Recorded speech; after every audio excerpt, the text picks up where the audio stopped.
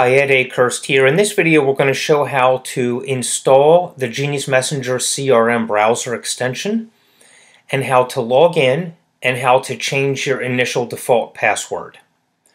Go to the link that you were sent or that's located below this video and you'll see the page where you can add it to Chrome.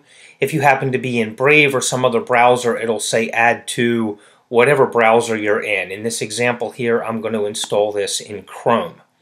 You'll get a little uh, message that'll ask if you're sure you want to do that and just click add. And it'll take just a moment. It's going to check that you don't already have it and do a couple of other things. Now it says it's been added. And so you'll see this icon up here with the little G.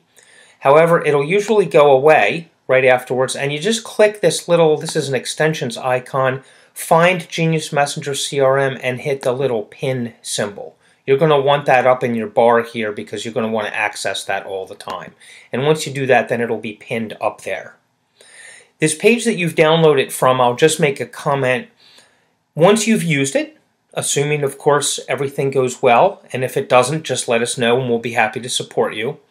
You're going to want to go to Reviews and rate it give it as many stars as you think it deserves and make a comment about it, what your experience is, but please don't do that until you've actually used it so we can get honest reviews. And we'll be happy to help again if there are any issues. So to log in, the first time just click the G symbol and use the email address that you registered with and you've been given a default password. So please enter that and then click log in. Uh, the email address is not valid, of course, because I didn't put .com. Okay, make sure you have that email address correct. And then once you're logged in, what I recommend you do first is click Update Password, put that current default password in, and then change it to something that you'd like it changed to. Let me make sure I've got that correct. And then you'll want to confirm that and then click update. And that would be good. And I'll log out now just to, to show you this. If you ever forget your password, just click forgot password, type in the email address that you registered it with, and click submit, and there'll be a way to reset that password.